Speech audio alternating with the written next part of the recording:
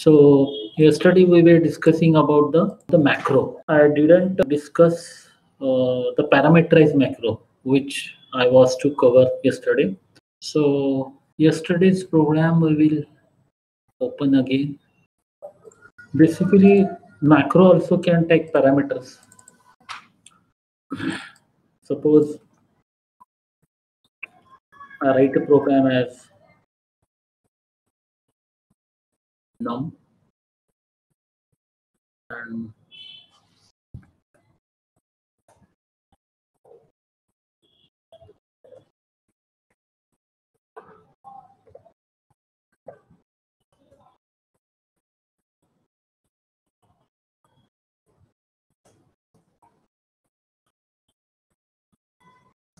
I will take one number and find the square of that.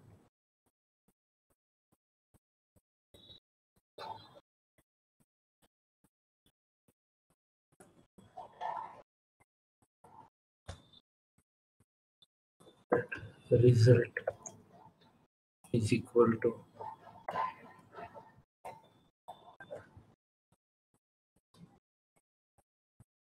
that square. Right I will change the num that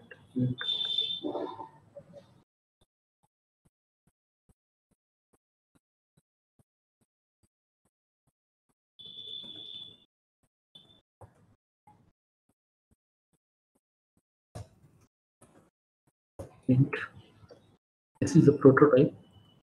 And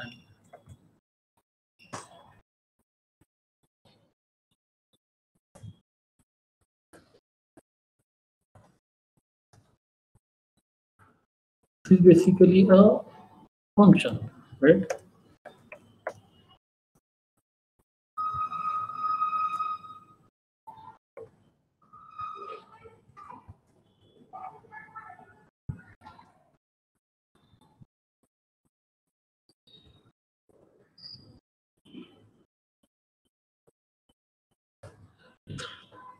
Right? Now, we'll copy the same program, create another project.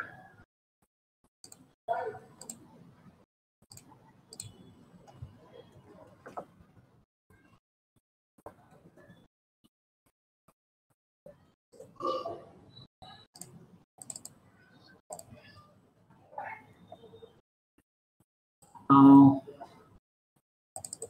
as far as this program is concerned, here this is a function call.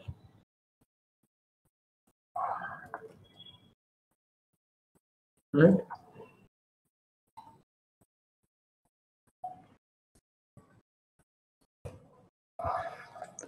And inside this,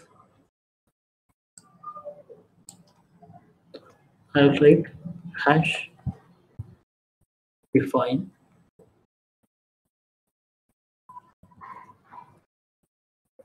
get square x x into x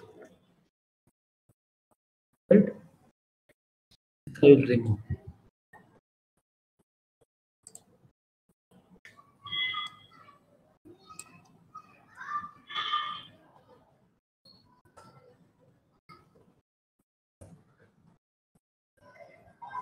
now if I compile this program I will get 25 as the answer. And if I compile this program, it works in the same fashion. 25 as the answer. If you look at these two programs, right? These two programs. So between these two programs, if you compare this statement, line number 12, and here line number 12 both are alike right? But the difference is that this is a macro rather parameterized macro and this is a function. Both look same. Okay this is uh, for convenience we have written in small case and this we are following the convention so written in capitals. So what does the macro do here? You return the macro as get square and x. So we are telling the preprocessor that if you find this macro expand it as x into x. So when this program when we send for the compilation preprocessor does what? Preprocessor expand this macro as x into x okay? So this line this part of the statement is converted into rather replaced not converted. Sorry for that word. It is not converted it is replaced by the preprocessor because we are telling if get square if you find the get square and x as an argument replace it as a x into x so this statement will be replaced as num into right?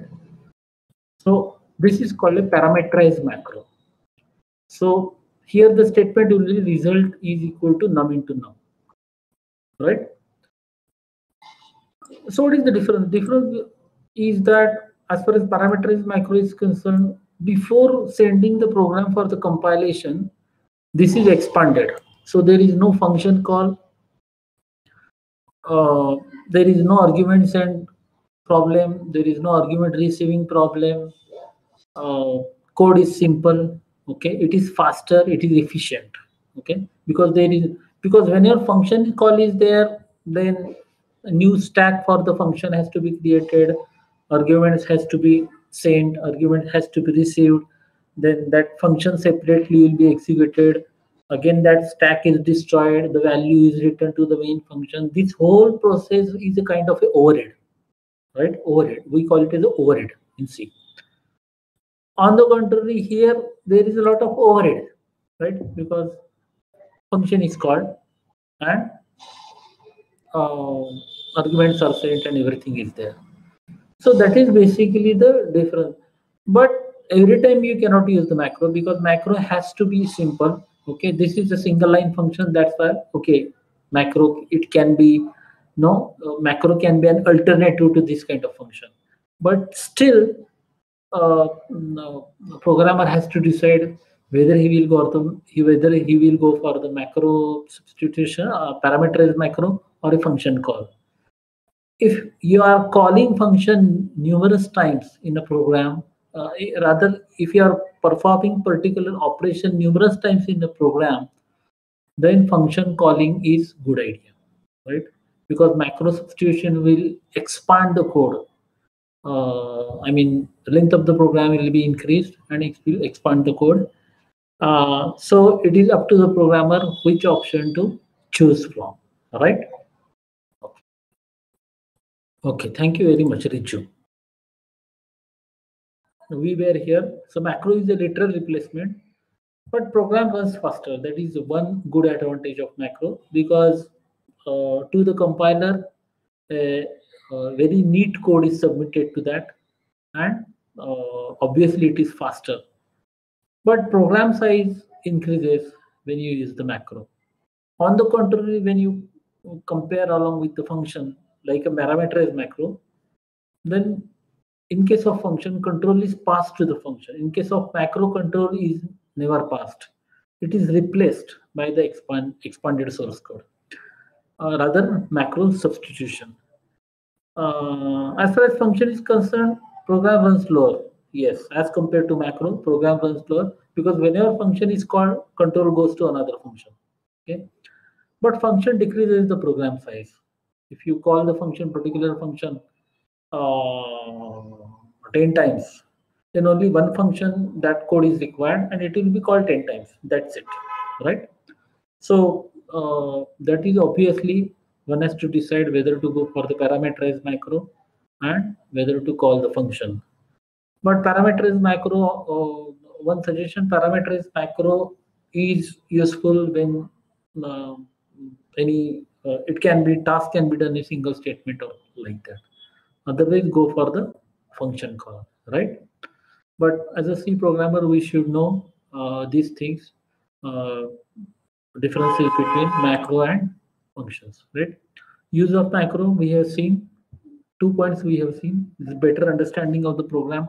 Macros are heavily used in uh, uh, library development, heavily used. They have used macro everywhere. Like what you what you say, uh, we write some uh, sometimes we write. Um, for example, uh, so here the statement is written zero usually, right?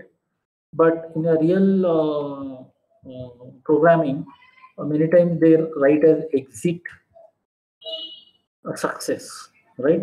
Instead of return zero. And you can see here, return success. Uh, see, it's a macro definition, exit success as a zero, right? The same we write in the program. And exit failure as a one, right? You can see this declaration. It it must be inside the stdout.h. I think so. stdlib.h. So can you see here? They have used the macro everywhere? Hash define exit success zero, hash define exit failure one, right? Uh, we include that stdlib.h in our program, right?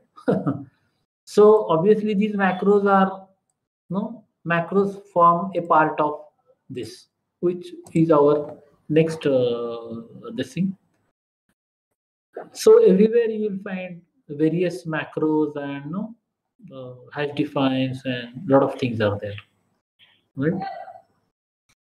Okay